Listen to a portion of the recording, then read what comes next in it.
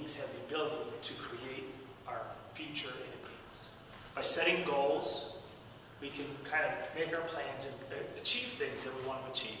Now, the biggest difference between a goal and a wish is a goal has to have a deadline. You got to pick a date, put it in your little calendar, and decide when you want that goal to have, have be happening. A classic example is I've been wanting to put this trick together for a very long time. it wasn't until we came up with mentalism date, he said, I'm going to have to work on this mentalism trick, and guess when I finished it? Today. so I was able to I create, that. I, I was able to create my, my, my future in advance. One of the reasons that playing cards are so popular is because they were actually the first calendar. Think about it. There's 52 decks, 52 cards in a deck. There's 52 weeks in a year.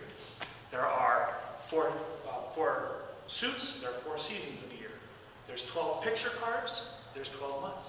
There's 13 cards in each suit, and there's 13 lunar cycles in a year. So I want to try a little experiment. Oh, and then one other thing too is that if uh, if you were to add up all of the numbers, Jack being 11, Queen being 12, King being 13, if you were to take all those, and add them all up together, it would go 364. And if you throw in a joker, you have 365, which is the number of days in a year.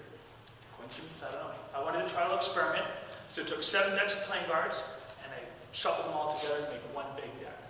And I just started filling out my, my pocket calendar, my pocket calendar for a different card for each day. So each card is represented seven times throughout the year. So I wanted to try a little experiment.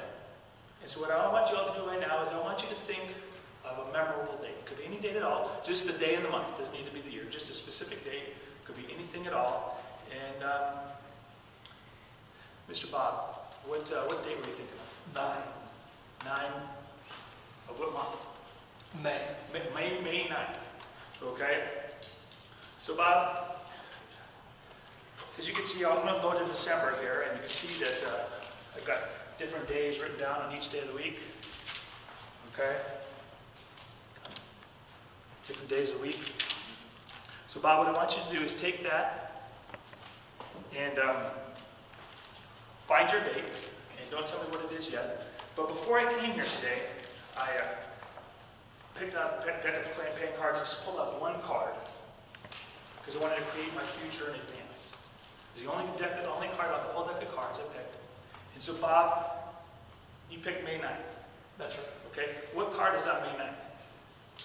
Two of spades. Two of spades. Now, if you had picked May 8th, what card would that have been? That would have been the four of diamonds. The four of diamonds. If you picked the day after, what would it have been? The nine of hearts. The nine of hearts. But you picked the May 9th, which you said was the two of spades. So I was able to create my future in advance by being with me.